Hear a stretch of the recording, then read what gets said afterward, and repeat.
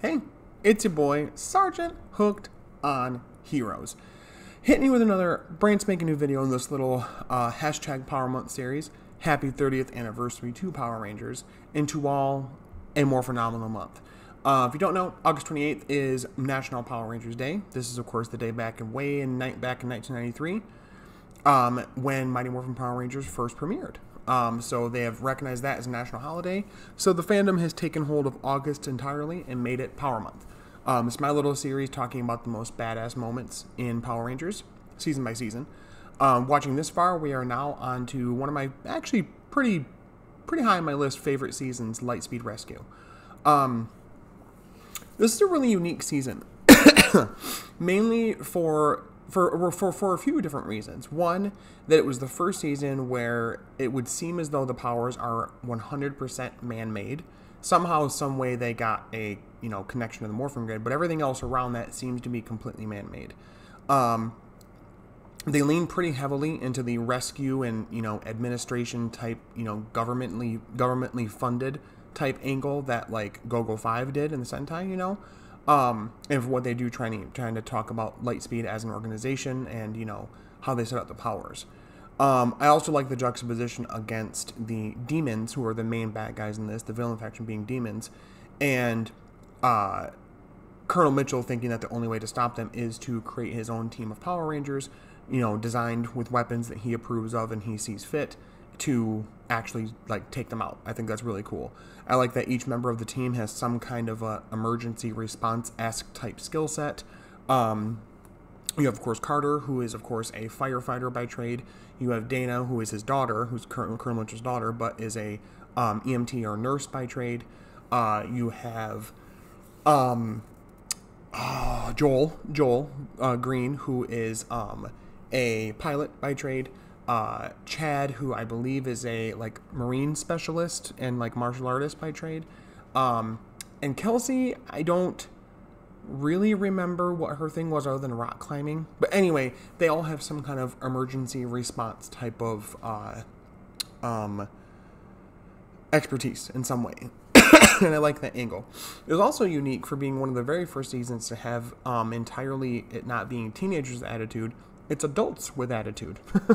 they all seem to be in their like early 20s or a little bit older. Um, which was unique for the show because we hadn't really seen that before. Most of the seasons prior had been teenagers or pretty close to. I mean, I guess Lost Galaxy to an extent was, you know, probably not teenagers like young adults, but it was one of the first where it's like, oh no, these are just straight nine to five type worker people that also happen to be Rangers. Um, so it's a really unique season. I really enjoy it a lot, and especially for a lot of different things. And we'll get into that because this is the most badass moments, of course. Um, I will say the number one for me has to be the debut and the tenure of the Titanium Ranger. Um, I really enjoy the Titanium Ranger storyline. I enjoy that he is the sister of Dana. He's a son that they never knew, that the rest of the team never even knew Colonel Mitchell had. Dana was kind of, she knew who he was, clearly, but she hadn't seen him in so long, she thought he had died. And his backstory is pretty good, too. Spoilers for the show, but please just definitely watch it. Turn this off, watch it, come back.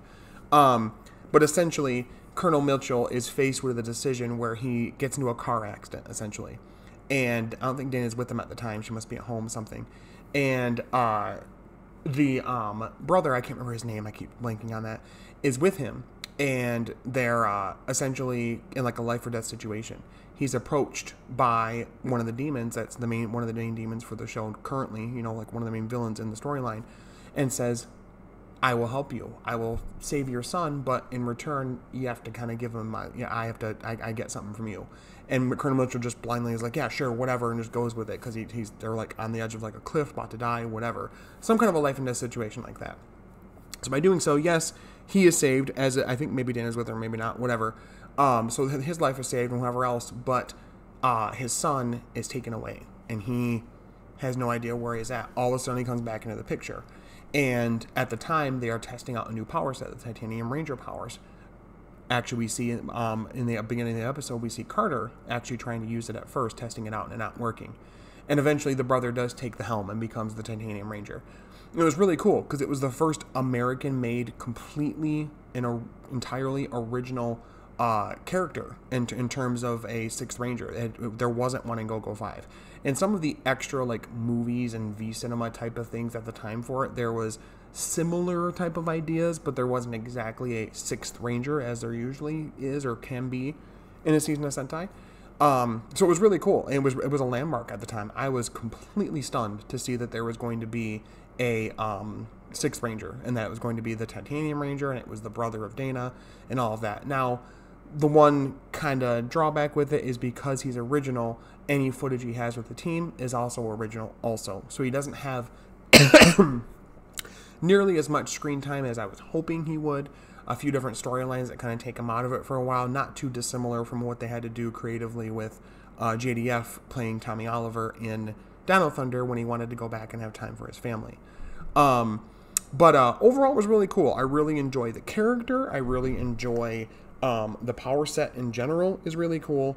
Um, I want to get his name real quick because I feel like an idiot not being more prepared for this. Um, Ryan, that's what it is. Ryan. Yep. So, like I said, it was just really cool to see a sixth ranger come together this way and not have any kind of counterpart from the Sentai at all. I think that's really awesome, really unique, and something I would love to see them try to do again. I mean, kind of we're getting it with Cosmic Fury because it's all new powers and blah blah blah, but to see them completely take hold of what worked with the Gogo 5 suits and be able to create their own idea based off of that is really cool. Um, so I really enjoy Ryan as a character, and I really love the Titanium Ranger idea in general. Um, other than that, um, the Lightspeed uh, was it is it is it the Lightspeed Rescue with Lost Galaxy? Um, time t- team up is pretty good. Um, I think to the power of ten is better, which is the previous team up with uh, Lost Galaxy and in space. But I really do enjoy the team ups that we get in this with Lightspeed Rescue, of course.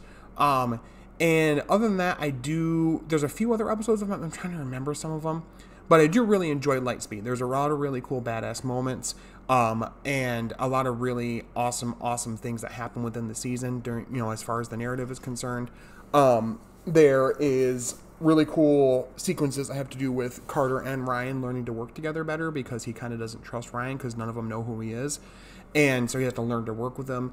There's a lot of times where they fight together against like the bad guys and stuff like that. Um, and I also really enjoyed Joel's um, blossoming relationship with Miss Fairweather. I think it's really cute. I think it's really unique for a ranger to have a crush on like a mentor figure or like the Billy Tech type advisor role. Um, and that they played with that pretty well. So much so that in the follow up team up with uh, Time Force, Time for Lightspeed, uh, they're married. they're on their honeymoon, actually. So um, but Lightspeed Rescue is a lot of fun. It's got some pretty decent characters. I would say to me that uh, Carter, Dana, Joel, and Ryan are my favorites. Blue and Yellow, Chad and, and, and Kelsey just didn't make an impression on me. They don't have a lot of character moments or character focused episodes. And if they do, they just didn't leave a lasting impression, whereas the others did, in my opinion. Um, a really strong cast of characters. I love Colonel Mitchell. I love Miss Fairweather and all the supporting characters. And just in general, a really fantastic and well written and well put together season. Plus, that theme song is fantastic. Um, but let me know in the comments below what is your most badass moment in Lightspeed Rescue. Did you guys love the season? Did you hate it? Were you in the middle? Um, I love to see the conversations going in the comments.